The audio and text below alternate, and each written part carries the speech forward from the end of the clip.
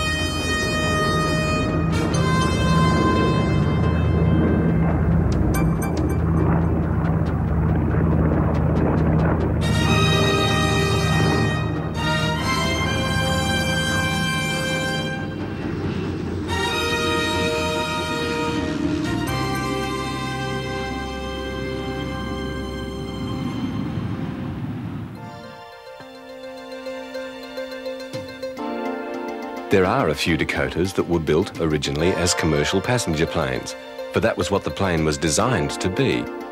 But when the US entered the war, they were considered too valuable to the war effort to be left as airliners, and even these were requisitioned by the Army.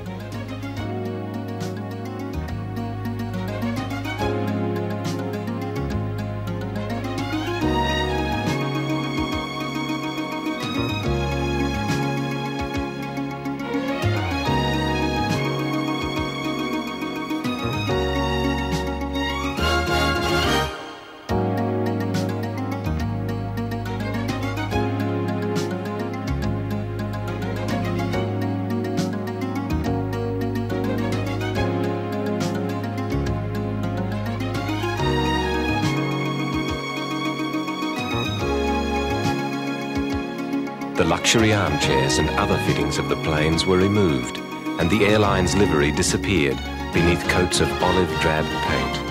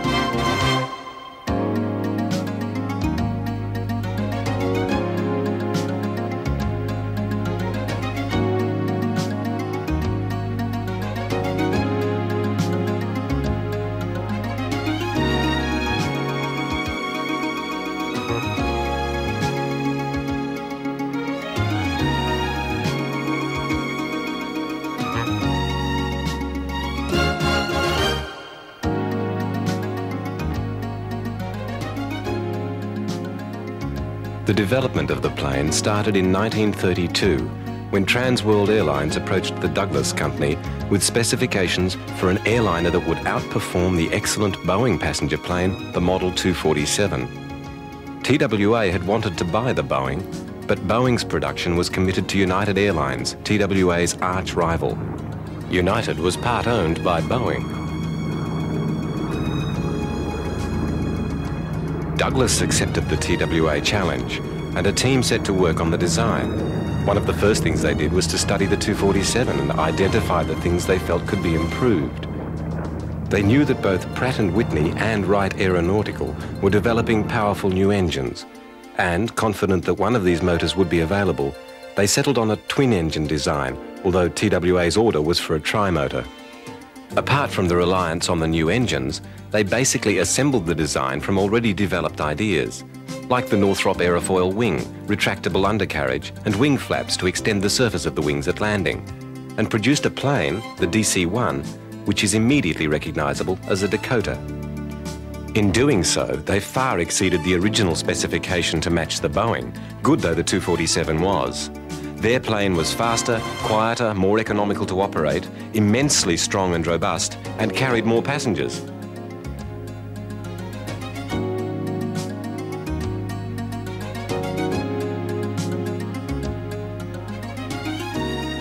Only one DC-1 was built, and that plane crashed.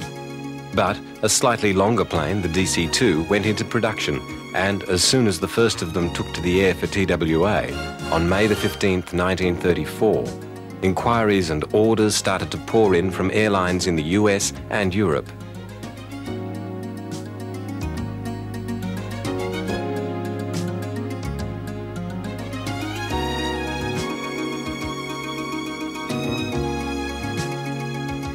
The new plane revolutionized the sophistication and comfort of airline travel, even allowing for the introduction of the first in-flight movies.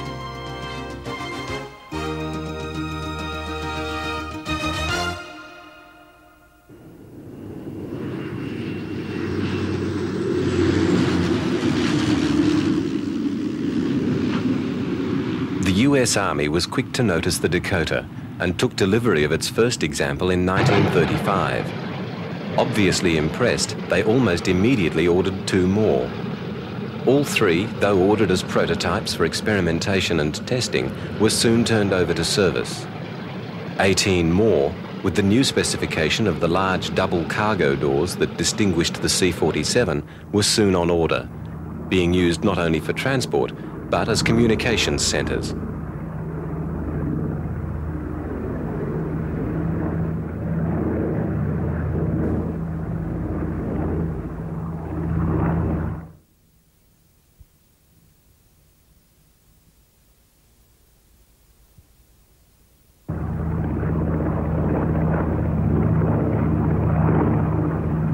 Also used the wing design and other common parts as a base to develop their B-18 bomber. To all intents a different plane, but sharing the economy and power of the DC designs. The B-18 saw limited service in World War II, primarily working as a coastal patrol aircraft. The commercial plane went from strength to strength, however, and soon development was underway on a new, further stretched, wider-bodied variant with space for comfortable bunks for the passengers to be the Douglas Sleeper Transport, the DST. Fitted out as the airborne equivalent of a luxury liner, the DST took off for the first time on December the 17th, 1935. But the extra space of the new plane did not have to be devoted to bunks and sleeping compartments. It could be as easily configured without the extra windows for the upper bunks as a standard airliner, and in August 1936, the first of these planes was delivered to American Airlines, the first DC-3. With the war, production of the civilian planes stopped and the C-47's mass production commenced. These planes saw service in every theatre of the war, in all conditions and in many roles. Their use in New Guinea was typical of their importance. On the ground, the Allies and their Japanese opponents confronted an environment where everything moves slowly, trapped in the mud of the jungle. It was only in the air that the wretched conditions could be overcome, and the C-47, as the biscuit bomber, became a major advantage that the Allies held. Allied troops could call on the Dakotas for airdrops. Airdrops backed by an efficient logistical train to meet demands for all the material needed in the front lines, from munitions to rations.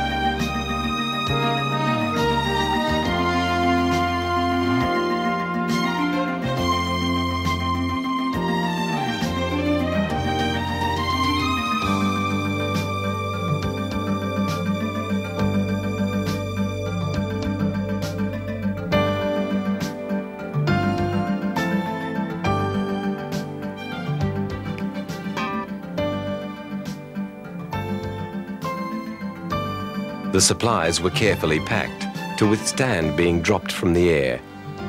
The humble activity of packing became a life-saving skill.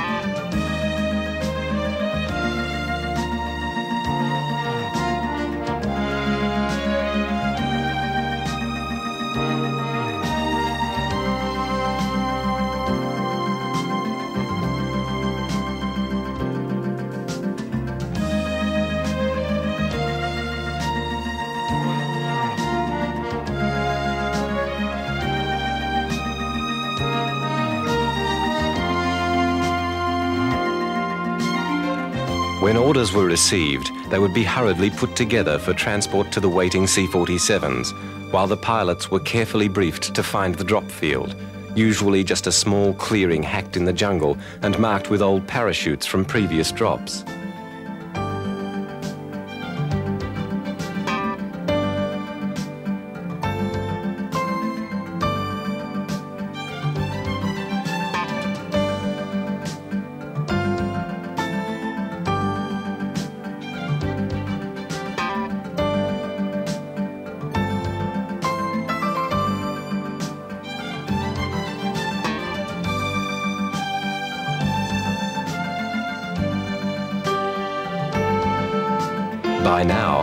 Field, the C-47s were being hurriedly loaded.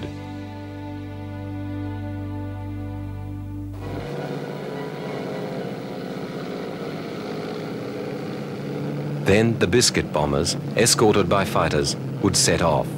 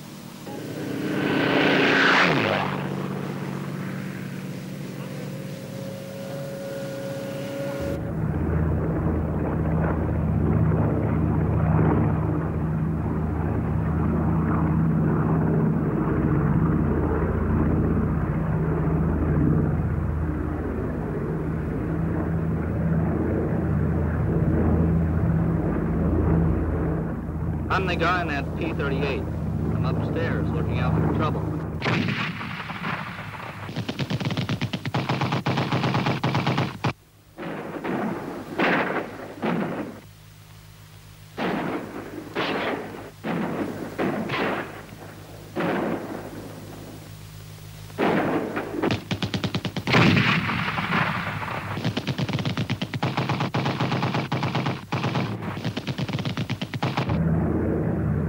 In those decisive months when the war in the Pacific finally turned against the Japanese, it was the C-47 and the parachute that combined to make the Allied victory in the jungles possible.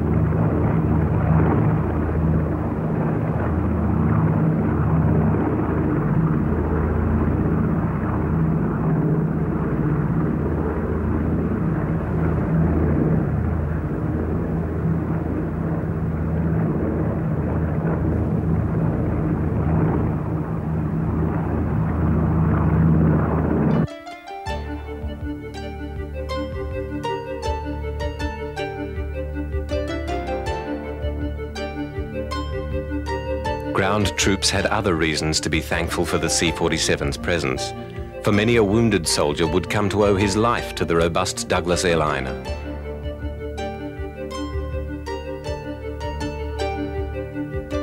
Medivac units, using C-47s, evacuated wounded from combat zones to base hospitals, with nurses tending the injured in flight. The dedication, bravery and hard work of these young nurses should never be overlooked or forgotten.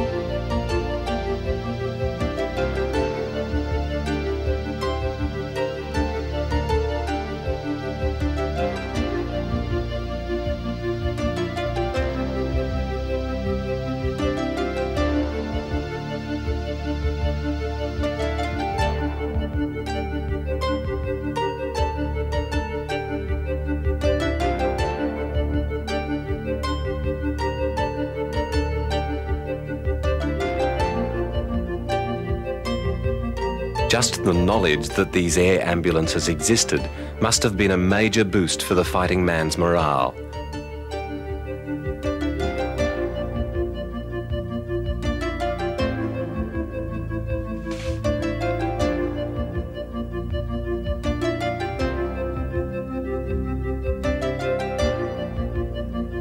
Meanwhile, the Dakota was seeing service on both sides in the Pacific, as the Japanese had started building the airliner before the war and continued to build them with gun turrets as military aircraft throughout the conflict.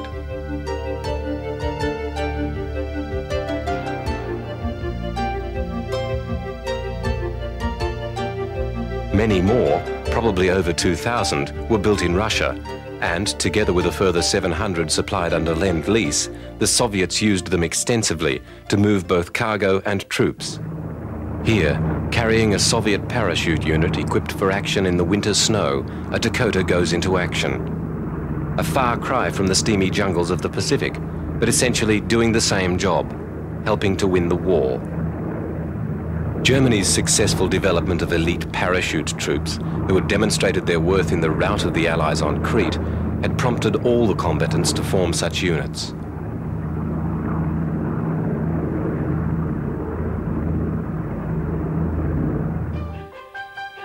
These men were hand-picked, specially armed and highly trained.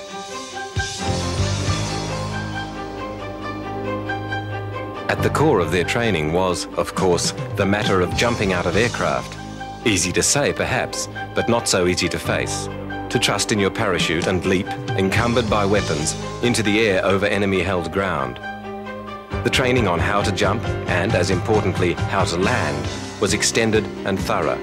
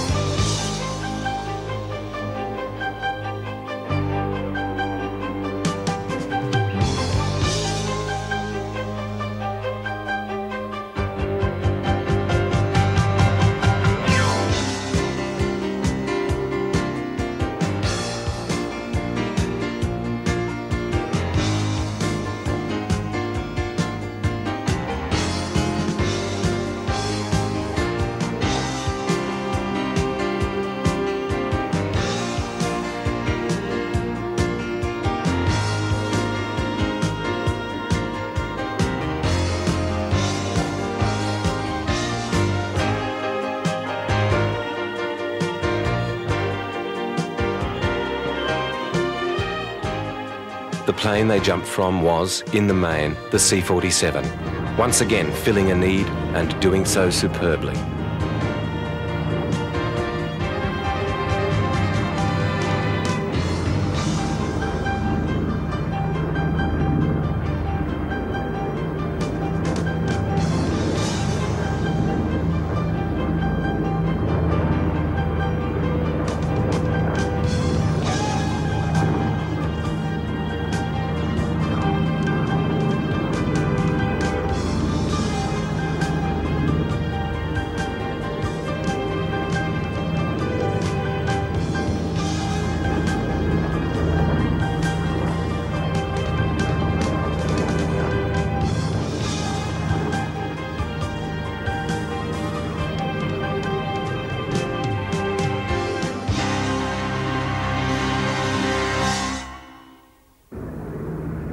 Another means of getting men to war was the glider, and in World War II, most of the Allies' glider towing was done by C-47s. The gliders were frail craft, and in actual combat they proved to be a haphazard and very risky proposition.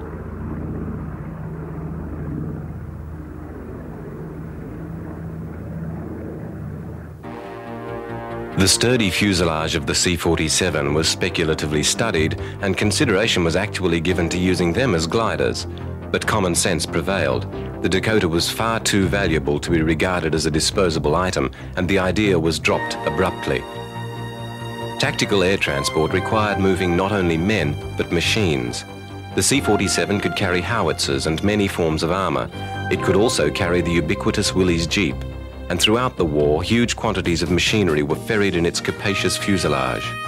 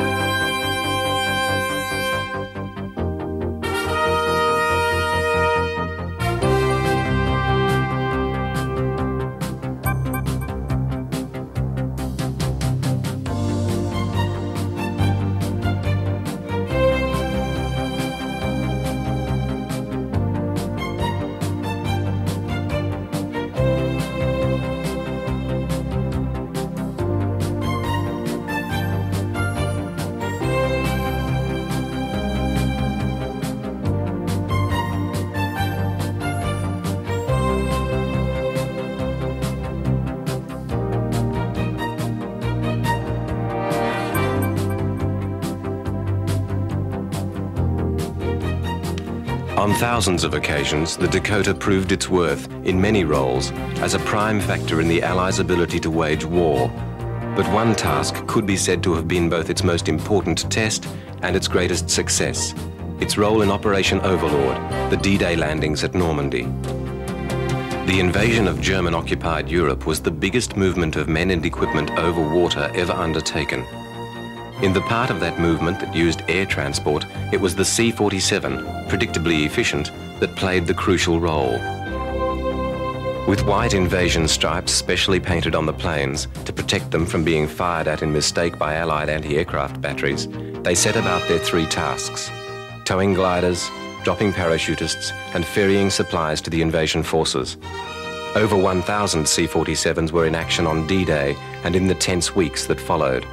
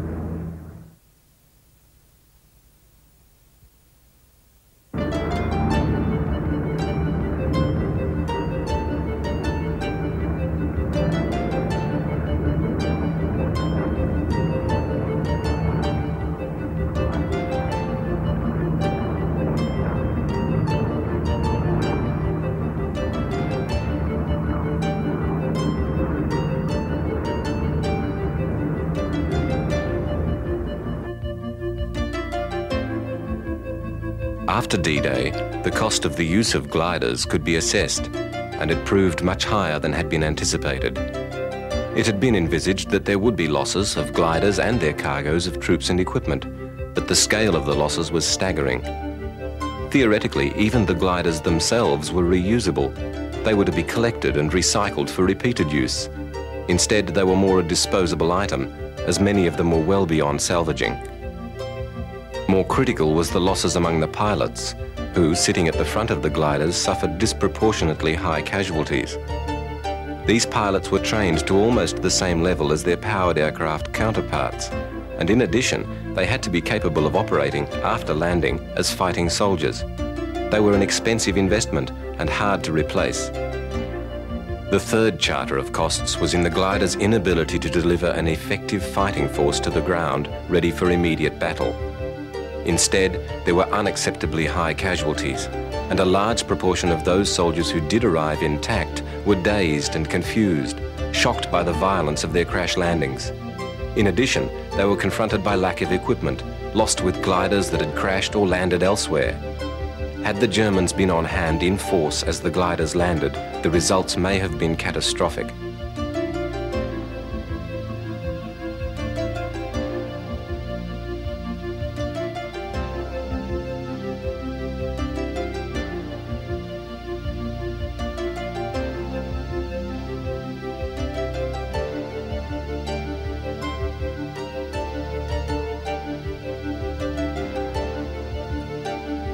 Gliders were used because they were available and because the reality of their failings was not foreseen. The courage and training of the troops they carried did bring limited success to their operations, but after a similar experience with use of gliders at Arnhem, they were abandoned, and in future other, more reliable means would be devised. Like the DC-3, the DC-4 continued in service for many years. Often overlooked, dwarfed by the reputation of its smaller cousin, the Skymaster, with its larger size and four engines, could fly across the Atlantic and had a very successful career.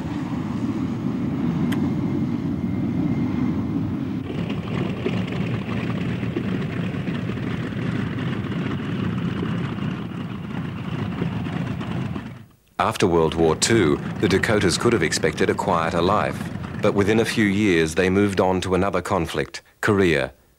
For a while in Korea, the Dakotas provided the same variety of services that they had during the World War, but other models were coming that divided the many roles of the C-47 into specialist areas.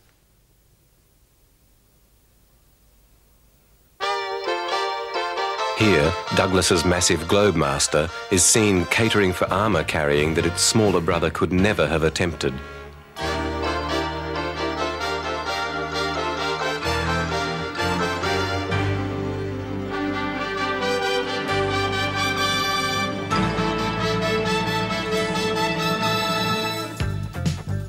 The role of parachute carrier was catered for by new specially designed and equipped planes, like this Fairchild Packet, its twin boom tail permitted a rear exit, purpose designed for dropping parachutes, whether they supported supplies or troops.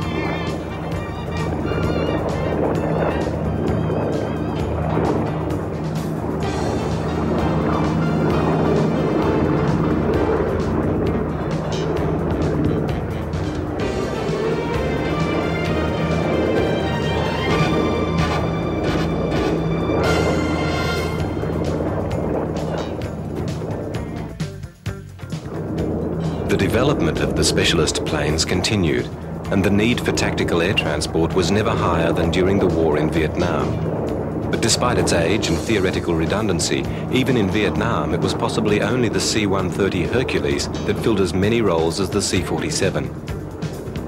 The Hercules was, of course, a completely different generation of aircraft, with jet engines powering its propellers.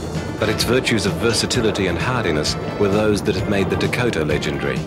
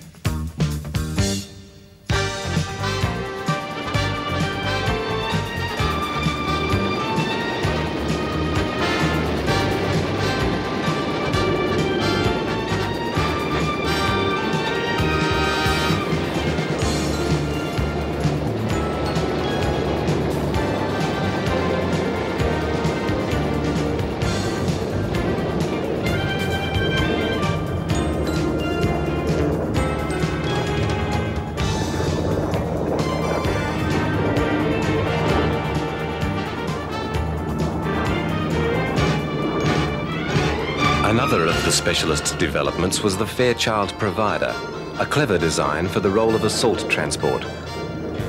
The plane was, in some ways, designed as a powered glider. If necessary, it could be considered a disposable item. Its wings were designed to shear off if they hit something, rather than slew the plane round as the older gliders had done so disastrously at Normandy. Fortunately, the providers rarely had to resort to making tactical crash landings.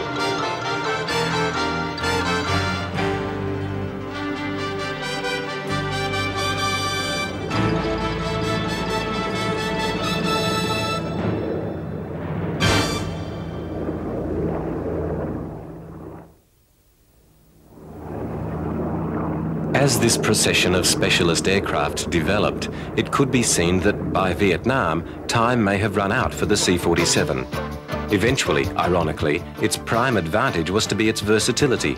It seemed that there would always be work for them as long as they could fly.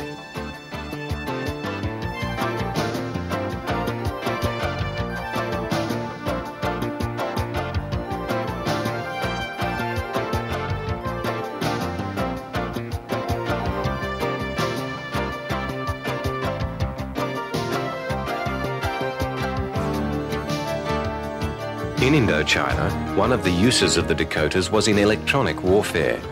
Here, highly trained technicians board a specially equipped C-47, which is probably older than any of them.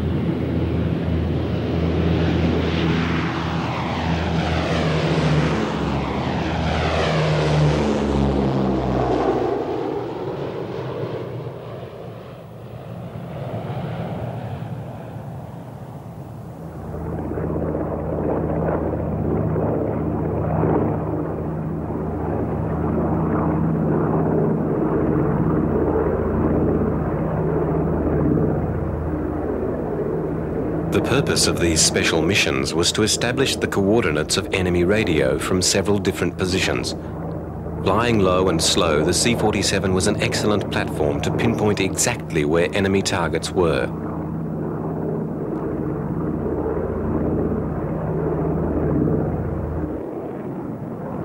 The information would then be transmitted to American bombers so that the steamy jungle of Southeast Asia was no longer able to provide an impenetrable cover for enemy troop movement.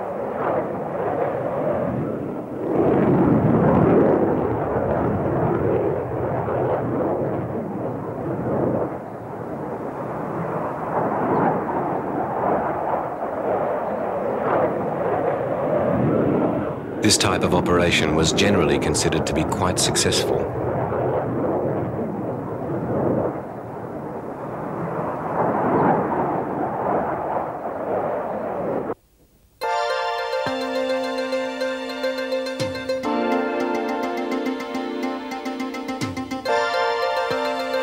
Another application for the venerable C-47 in Vietnam was its use in psychological warfare.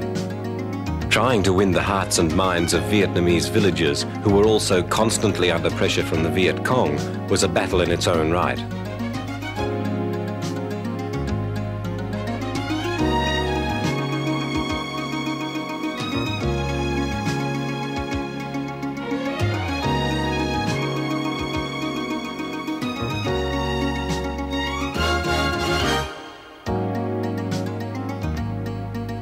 Efforts to convince members of the Viet Cong itself to defect were considered a priority.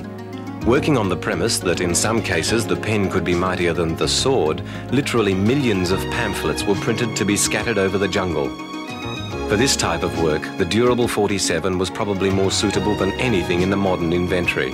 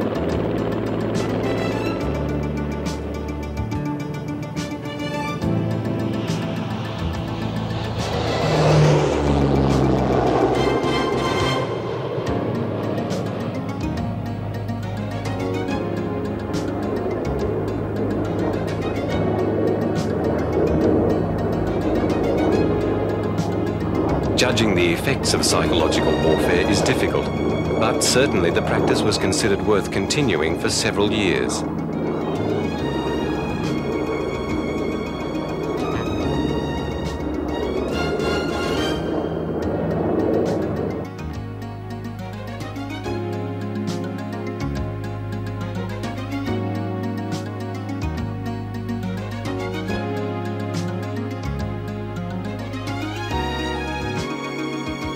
Keeping the 47s airworthy was fundamental because a crash or even a forced landing in hostile areas of Vietnam would have dire ramifications.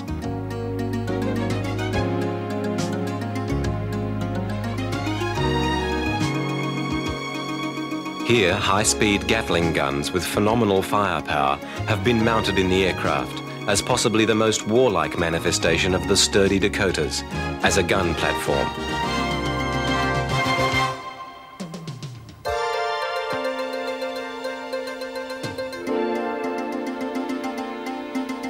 Missions would be meticulously planned so that the crew involved knew exactly what areas were to be saturated with gunfire.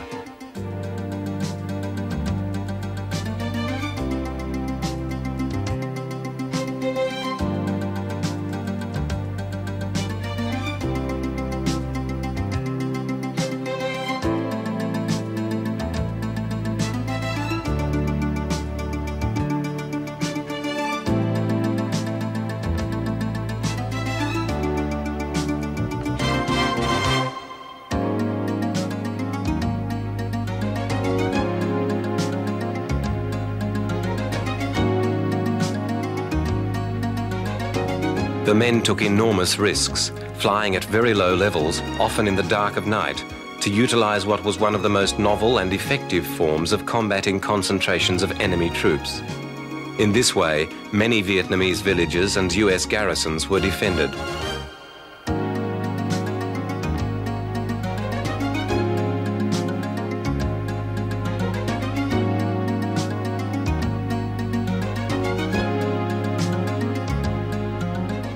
Flares are being loaded on board, past the ugly snout of one of the Gatling guns.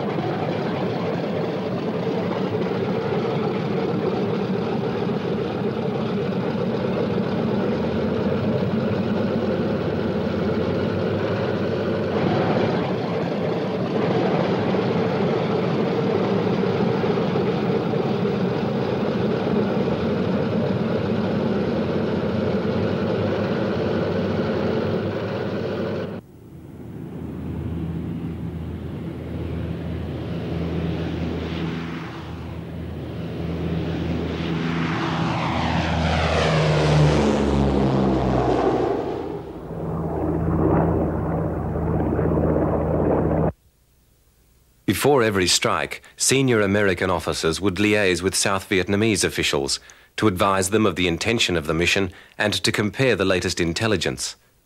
Flying into the night, the Dakota's crew would be advised of the final go ahead as they navigated towards the target zone.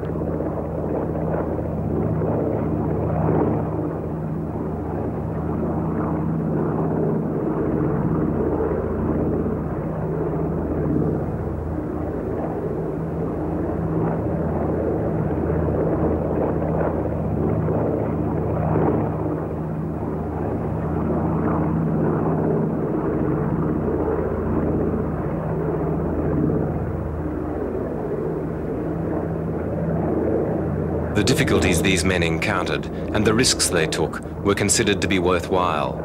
The Gatling gun Dakota was one of the few ways that such intense firepower could be moved into an area that may have erupted as a trouble spot over a matter of a few hours.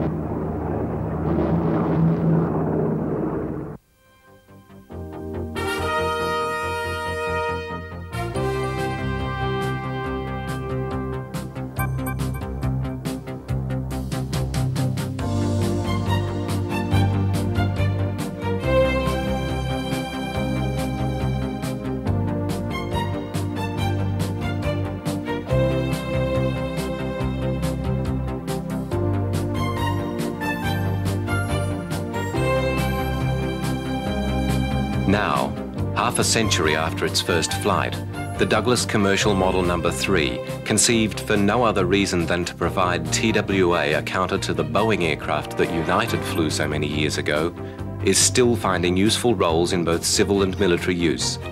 And it poses the question, does a really good design ever become obsolete? Those who served and flew on the legendary Dakota would surely know the answer. Back in 1953, the United States Air Force awarded its highest non-combatant civilian decoration, the Exceptional Service Award, to Donald W. Douglas.